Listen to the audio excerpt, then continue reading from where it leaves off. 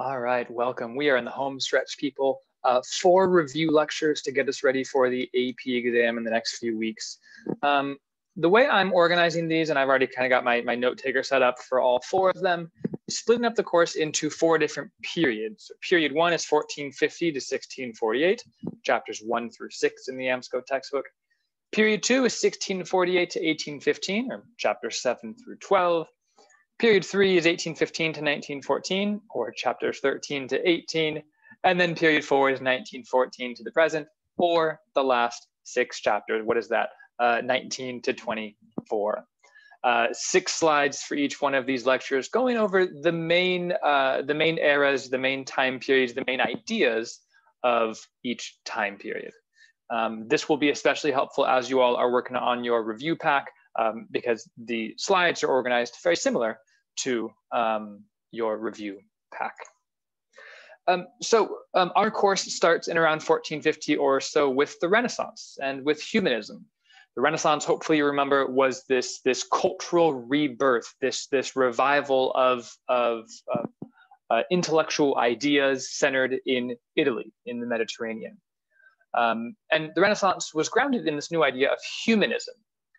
Humanism was all about human potential, um, and within humanism were these smaller ideas of classicism, focusing on uh, classical Greek and Roman texts, also Greek and Roman architecture, Greek and Roman mythology in, in their arts. Individualism, which is the, that man can be perfect, man can achieve greatness. And then secularism, which doesn't mean non, doesn't mean totally anti-religious. It just means non-religious, shifting a little bit away from the church. And so humanism, this big new idea of the Renaissance, was grounded in an emphasis on the liberal arts, studying history, architecture, math, science, philosophy, um, the classics, in order to glorify man, in order to uh, help man achieve greater potentials, and to achieve a new secular view of the world. It's moving away from this really rigid church only perspective and looking at the world in a new way. Um, so when we're talking about the Renaissance here, um, we've got kind of 1450s Italy, um, and there's a new idea, which is humanism. Um, and humanism is all about um, looking at the world um, in a secular point of view. And then there's kind of a focus on the potential perfection, let's say, of man. You might remember uh, the Book of the Courtier by Baldassare Castiglione that talks about how man can uh, uh, should kind of be just as good with a pen and with a sword. Or Oration on the Dignity of Man by Pico della Mirandola, which says that man can achieve greatness, man can be perfect because they were created that way by God. Um, now, this idea of humanism is directly challenging traditional Christian views. And so we're going to see this is going to lead to the Reformation. Um, so this challenges uh, traditional views on religion and on art and on society. Um, and these ideas are able to spread all over uh, Italy and then all over the rest of Europe and eventually uh, to the world because of the printing press uh, created right around mid 1400s that allows them to spread their ideas. Um, we've got revolutionary artists like Michelangelo and Da Vinci. We'll see some of their work in a moment that introduces perspective and secular subject matter. And then when the Renaissance spreads to the north, Germany, the Low Countries like Belgium, Netherlands, England, it becomes what's called Christian humanism. Um, uh, Desiderius Erasmus and Praise of Folly um, is the best example of this, um, which is basically um, um, the idea, okay, we're going to study classical texts, but rather than studying classical Greek texts, we're going to study classical Christian texts. And rather than becoming a better man, we're going to become a better Christian or create a better church. And so they uh, criticized um, church corruption in order to um, improve the church. And that's going to directly lead to the Reformation the most important thing when you're studying the Renaissance is to be able to have a few works of art or works of literature kind of ready to share. And so School of Athens is one of the best examples of here. School of Athens by Raphael. Um, this is ancient Greek architecture, ancient Greek character. So there's classicism. And then Plato and Aristotle here are having a debate. Where do we get our truth from? One of them points up and says, Well, we get our answers from God. One of them instead points out forward says, No, we get our answers from studying the world around us.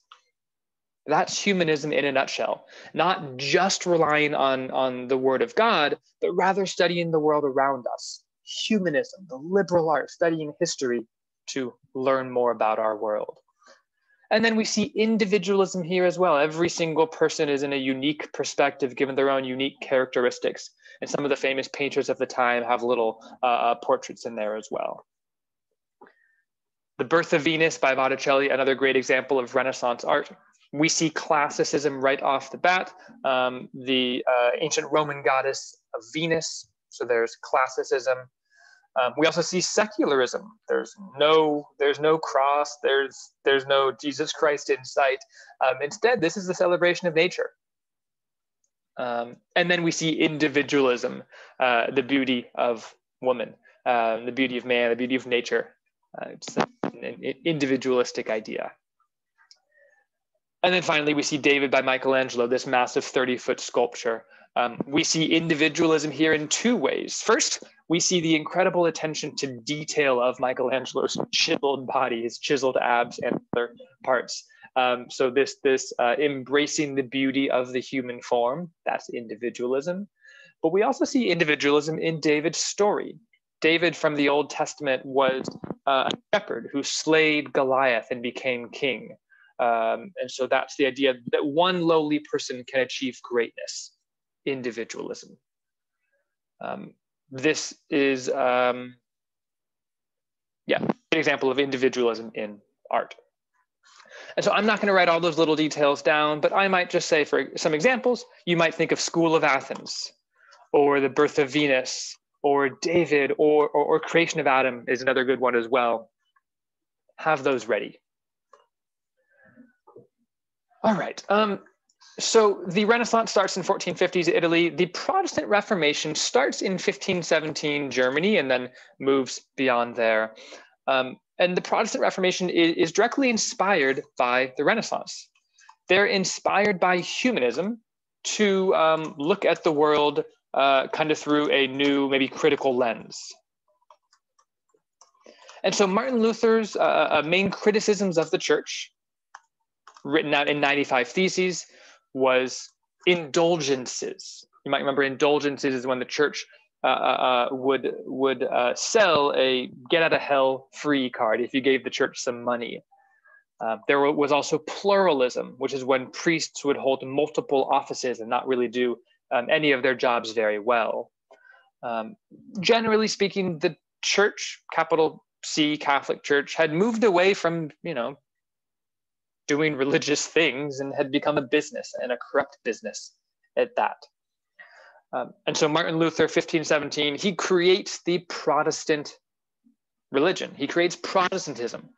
Um, and inspired by him are all sorts of other uh, uh, other uh, uh Protestant religions, Calvinism, Anabaptism, um, Zwinglianism, all of these these offshoots of Protestantism. Um, sorry, I've got a lot of sun in my face. Let's go the other way.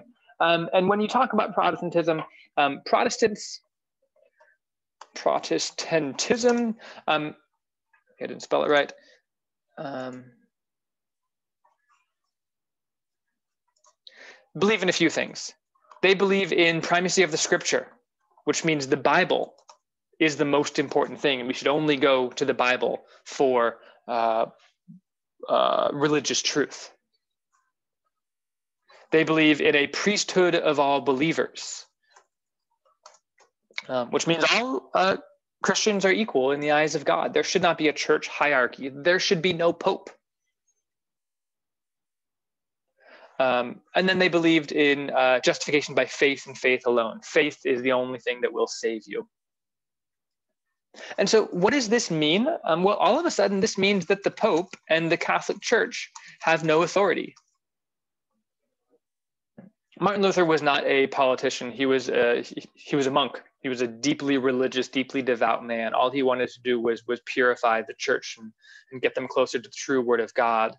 Um, but what he but what his his uh, uh, uh words did is they had a huge political uh, domino effect because the Catholic Church lost immense power, and the Catholic monarchs around the world, like the Holy Roman Empire, let's say, also felt threatened.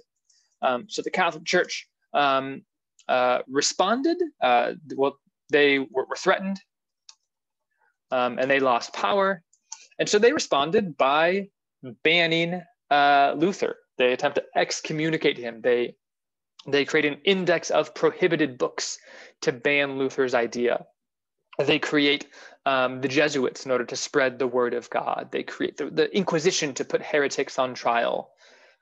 Um, so the Catholic Church, they respond um, in order to do two things. First, they want to kind of uh, uh, combat the spread of Protestantism and also spread Catholicism.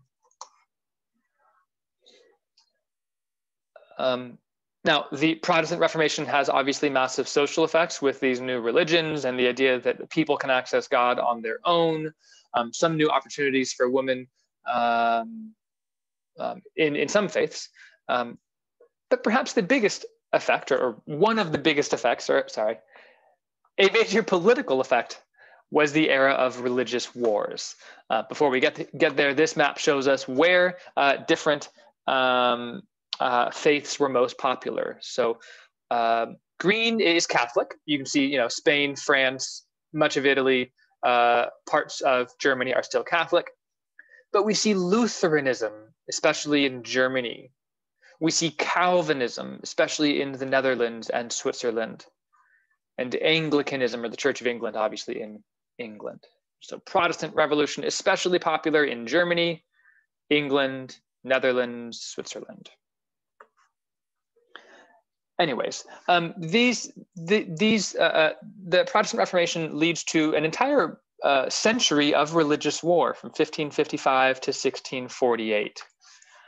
Um, so 1555 to 1648. Um, and um, every single war is, is unique. There's the German Wars of Religion in 1555, the French Wars of Religion in 1598, the Thirty Years' War in 1648. But the general cause making generalizations here, looking for similarities across the, the war. Um, the, the kind of common cause of each war is the Holy Roman Empire wants uh, more power and they want to make their entire empire Catholic.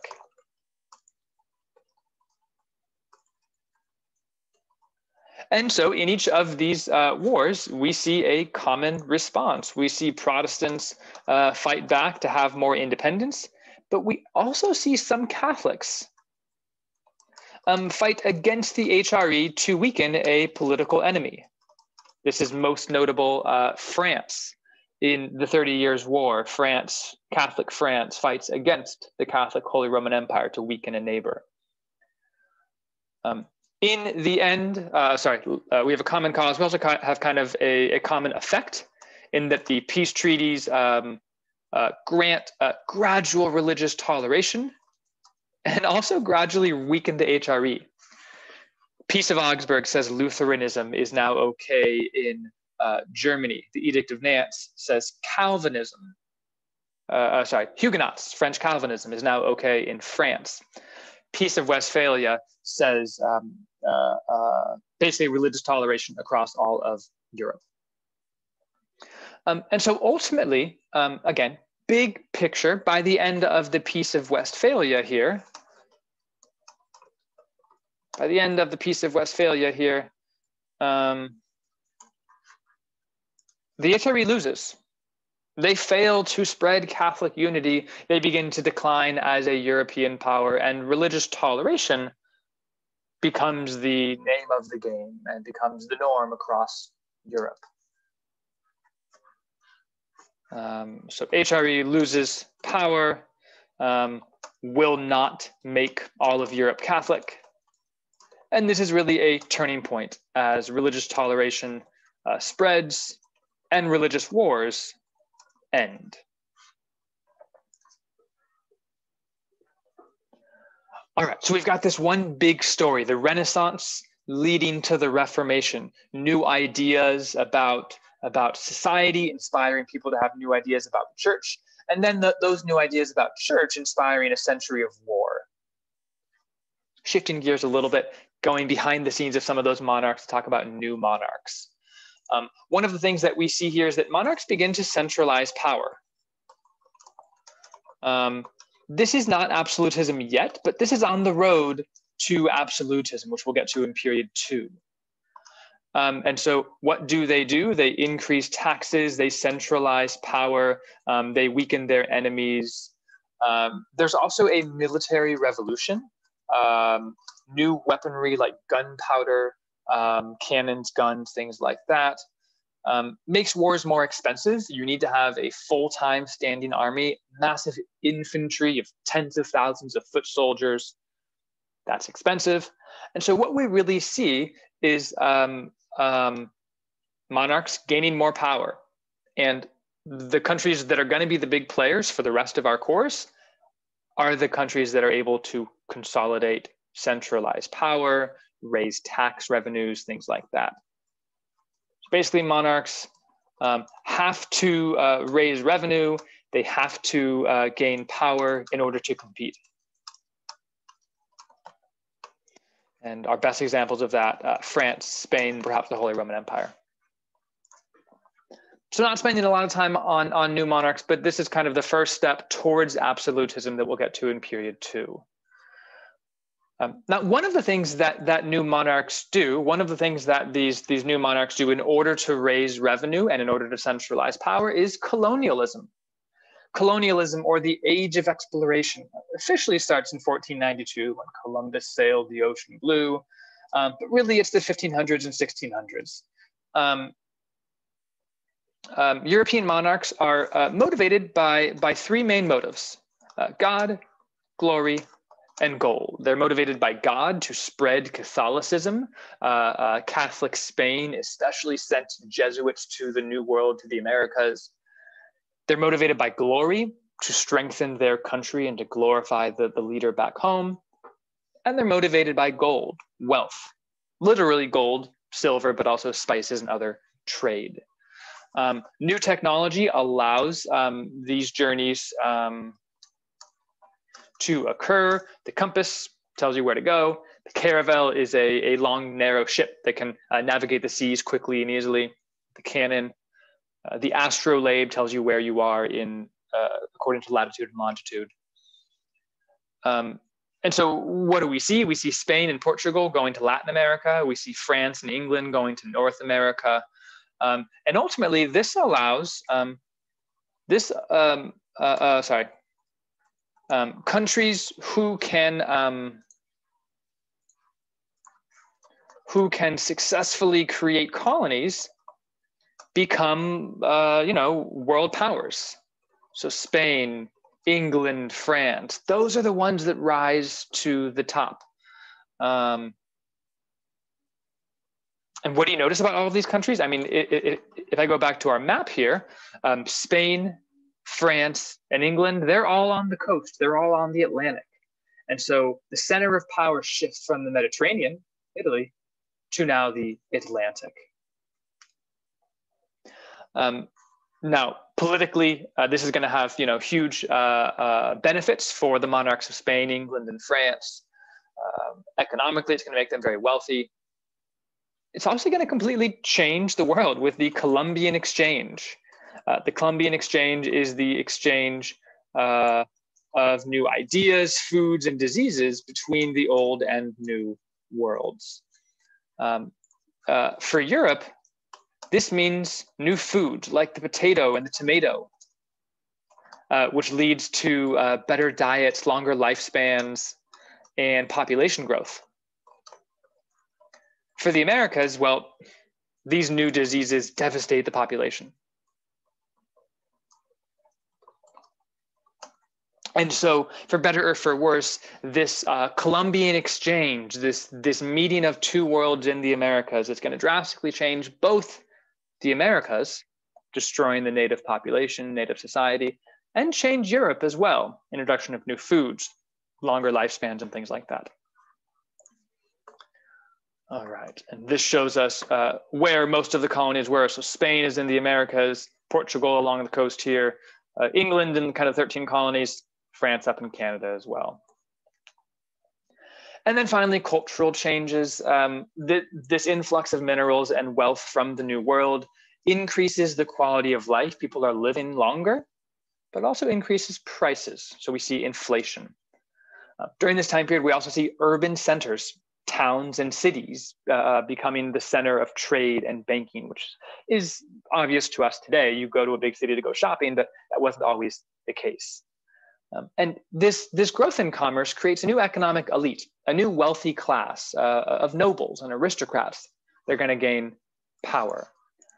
Um, so generally speaking, what we're seeing here is um, um, all of this new trade um, leads to uh, an increase in commerce. We see new urban uh, trade centers in cities, um, and we see a new wealthy class, which will essentially be like the nobles or the aristocrats.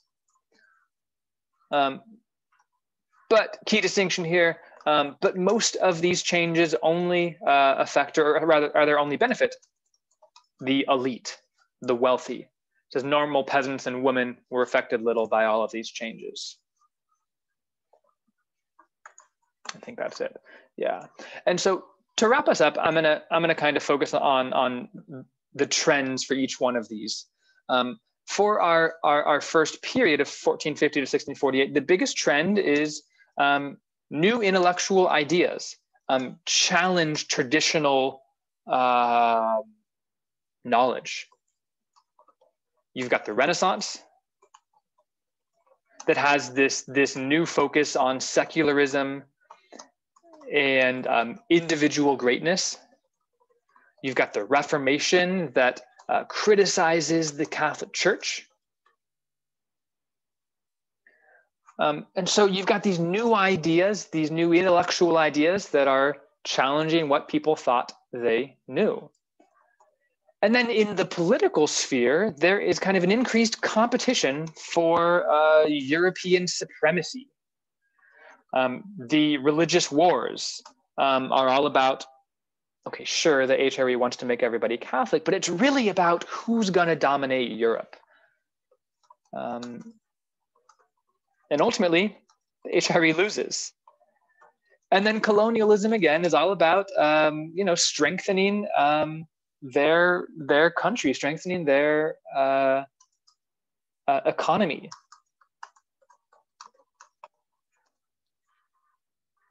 And so as we wrap up here, let me see if I can get all this on one slide or one page rather. Cool.